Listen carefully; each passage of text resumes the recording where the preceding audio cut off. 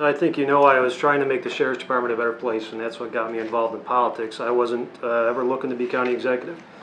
I got recruited, and when they were trying to recruit me, I told them no. I've had enough of politics. This has proved to me, one, it's the right thing to do, and proved to me it's winnable.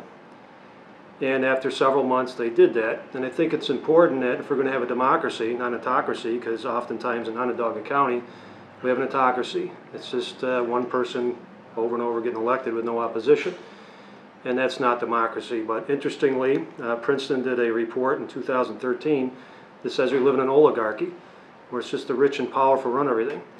Well, if you don't know, I'll tell you, I'm a 30-year military veteran, a combat veteran. I fought for democracy.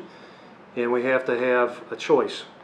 And that's the main reason I got in this race initially, is to give people a choice, to bring out the best issues, to bring out the best candidate, to bring out the best ideas, and of course, uh, challenge our county executive to her record. That's why I'm involved in the race, and that's how I got in the race.